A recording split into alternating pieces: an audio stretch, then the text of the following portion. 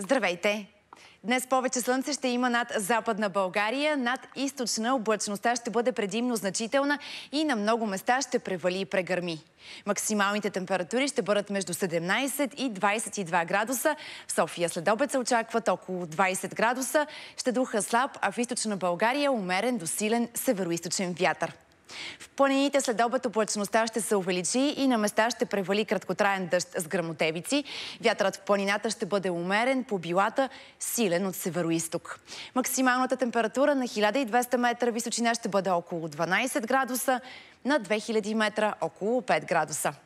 В първите дни от новата седмица ни очаква чудесно пролетно време. Ще бъде слънчево, валежи няма да има.